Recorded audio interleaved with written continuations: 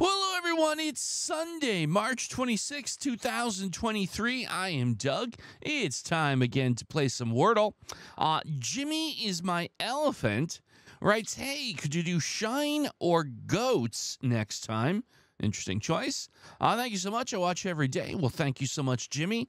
Uh, we've done Shine a few times, I believe.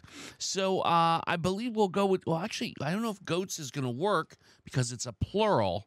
Oh, it will work. Okay, goats.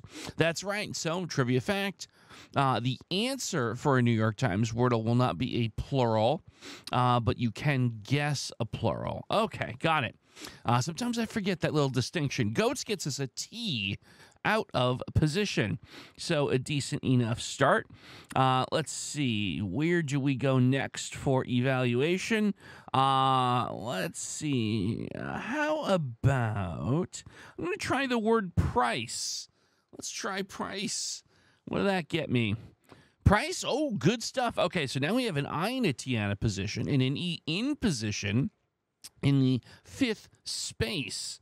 Uh, so we can do a little bit of playing around with this, right? Uh, I don't think the I is going to be in the fourth spot.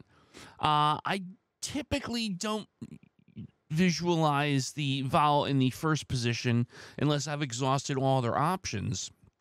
So my visualization here would be T-I blank blank E. Uh, let's see. You know, an interesting option. Uh, what about the word tithe? Is to uh, to set aside a, a part of your income for a cause. Uh, tithe that actually might be you know it's a decent enough guess lots of position information and it could be the answer so you know what let's give this a try uh, is the answer to today's puzzle the word tithe no it's not but okay i'm good with this we have gotten the t locked in the middle position so now i have to rethink a little bit uh, my suggestion that the I and the E were not at the end, it's now probably the most likely uh, position. So now we do have blank blank T I E. Uh, I guess the first thing that immediately comes to my mind is the word untie, uh, which uh, would not only get me again the position information locked in, but look at the U and the N, uh, two quality letters.